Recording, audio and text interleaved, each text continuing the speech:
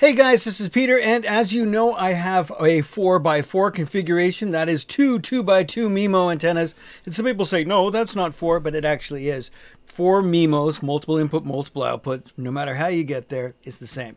Anyway, my 2x2s are faster than anybody else's on the internet, so why go anywhere else than Proxicast? They make some awesome stuff. I know a lot of you can't go outside with an antenna, but maybe you have HOA or maybe you're on the road, etc. So I wanted to look at some smaller antennas. So I wrote to Proxicast and said, I already have one of these little puck antennas. Could you send me another one? And that way I could do a, a 4x4 MIMO out of it. And they said, 4x4 MIMO?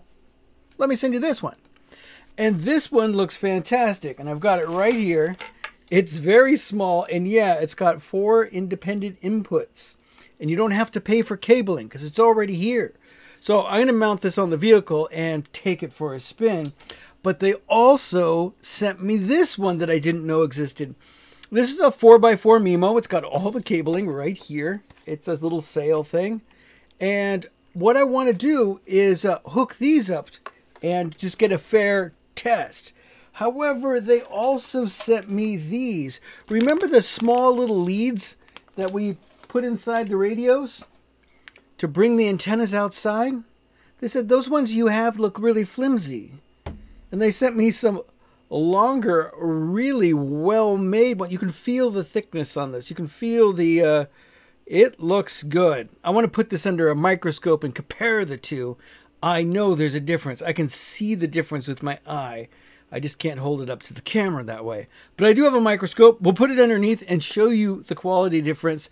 And I really want to measure this well so that I can show you the difference and whether it's worth doing all of this stuff because uh, hey better signal equals more speed and I am very happy with the speed that I'm getting I just want to try and get more and I know a lot of you don't want to go outside with an antenna so these ones are going to allow us to remain inside this looks like a really cool idea so you're going to get your antennas outside of that tube or that cube or whatever it is and this one, I love the little mobile mount.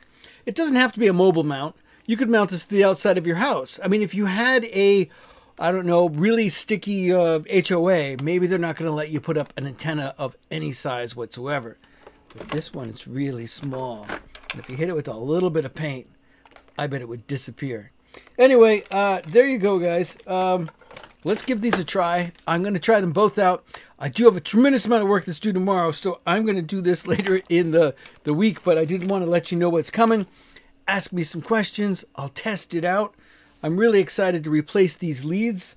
Uh, this Yecom one, I want to bring out two more leads on this. I'm going to have to go look up which antenna pairs I'm going to pull out of this and put these great leads on it. But first, I want to go back to the can because I know a lot of you have that particular one. And uh, let's just, you know, it's very similar to the Arcadyan, but this mine's the Nokia. We're going to put some better leads on it and look at the signal strength before and after. Not just the scores that it gets, the signal strength, because that's what it's all about. Time of day can affect how much the network's being used and potential throttle. But signal is signal. So let's take a look at that. Anyways, guys, uh, that's what's coming up and pretty excited about it. Ooh, I have some other great stuff coming up too.